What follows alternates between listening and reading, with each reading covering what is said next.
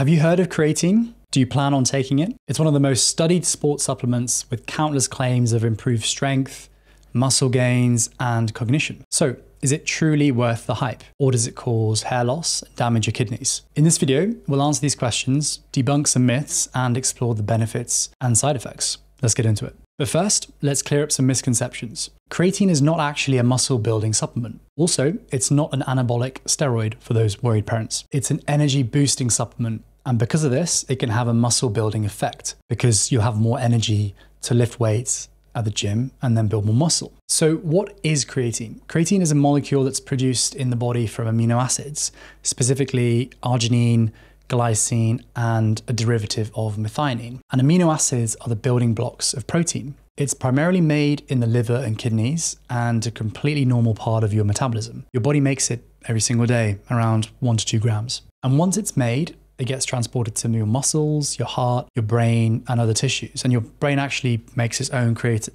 It's found naturally in foods like red meats and fish. So, if you want to supplement creatine, can you get enough of it from your regular diet? Typically, no. To get five grams, for example, you have to eat one kilo of steak each day, which is obviously difficult to do and obviously expensive. This effect can be compounded if you're vegetarian or vegan. So, how does it work? Our bodies use adenosine triphosphate, ATP as the primary energy currency to fuel various processes, including muscle contractions during exercise. And when we perform high intensity activities like weightlifting or sprinting, our muscles require rapid and substantial supply of ATP to meet the increased energy demands. Now, when muscles contract during exercise, ATP is rapidly broken down through a process called hydrolysis. And this occurs when water reacts with ATP, leading to the separation of one of the phosphate groups from ATP. And as a result, the ATP gets converted to ADP or adenosine diphosphate. The reaction is exergonic, meaning that it releases energy, and the energy release is used to power your muscle contractions. And in our muscles, we have limited stores of ATP, and these get rapidly depleted during exercise. And this is where creatine comes into play. Creatine is converted to phosphocreatine by an enzyme called creatine kinase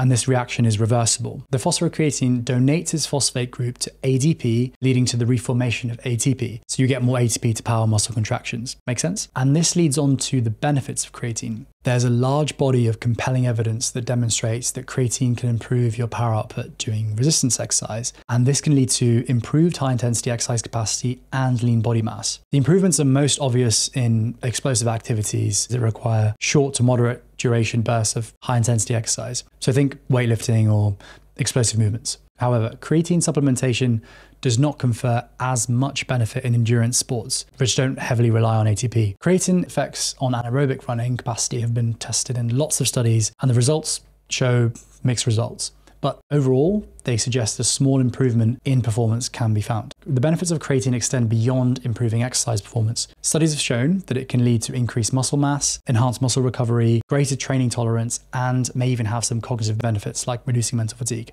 I won't go into huge detail about this, but I'll link the sources in the description below if you want to read more. So now we know what creatine does let's discuss dosing. There's also different types of creatine on the market, but creatine monohydrate is the cheapest, most studied, and the most effective form. Doses can vary, but you'll typically get three to five grams a day advertised as the suggested dose. And this is probably enough for most people, but this doesn't factor in your lean mass, your activity levels, and most importantly, your weight. Men and women don't weigh the same. So having a blanket three grams a day for everyone doesn't really make sense. Taking bigger doses like seven to 10 grams a day may be more suitable for people with a higher amounts of muscle mass and high activity levels.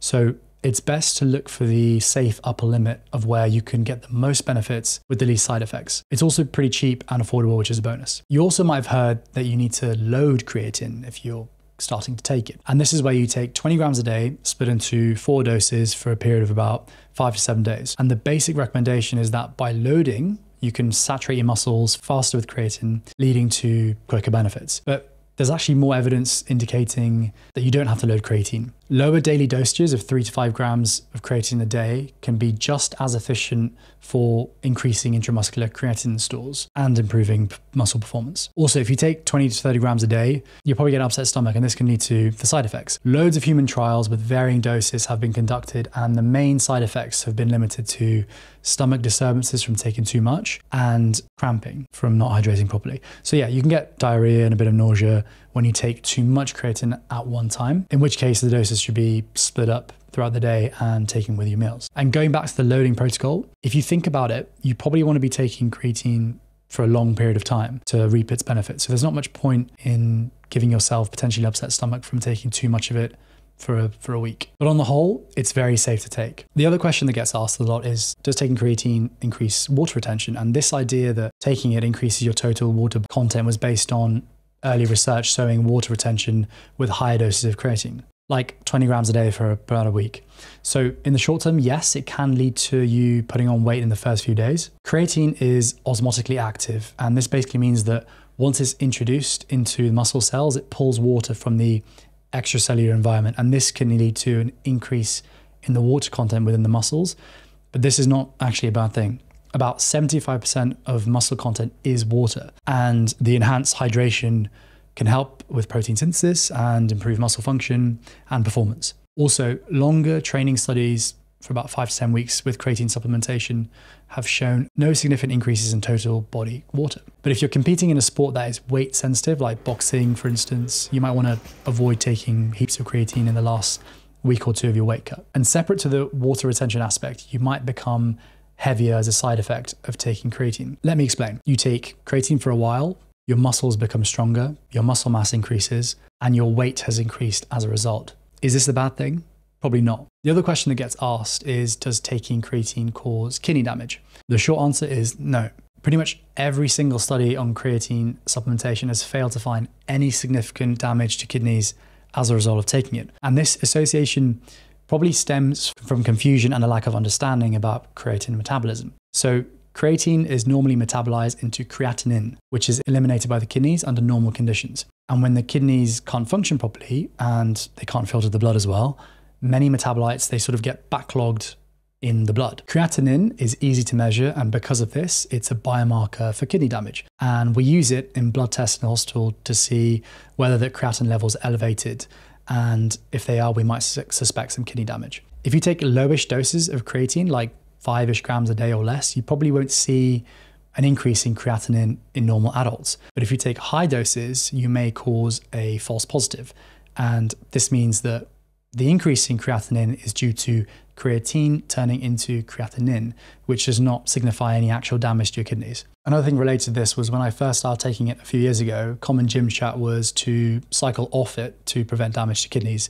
And you don't need to do this either. It's safe for continuous use. So, when is the best time to take creatine? Some recommend taking it before as a pre workout, while others suggest taking it afterwards. The answer is it doesn't matter as long as you take it around your workout time.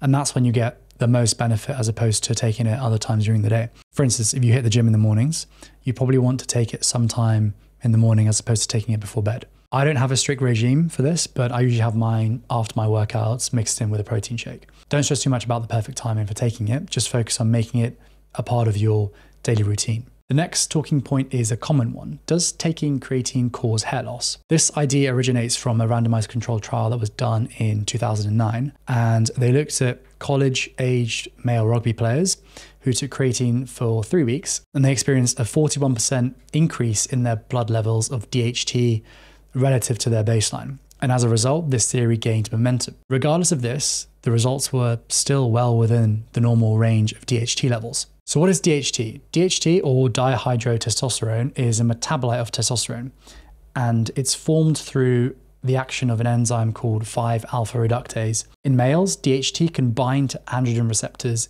in the hair follicles and cause them to shrink, leading to hair loss. So, inhibitors of this enzyme, like finasteride, are used to treat hair loss in men. Also, as far as I'm aware, there are no studies looking at the effects of taking creatine on hair loss.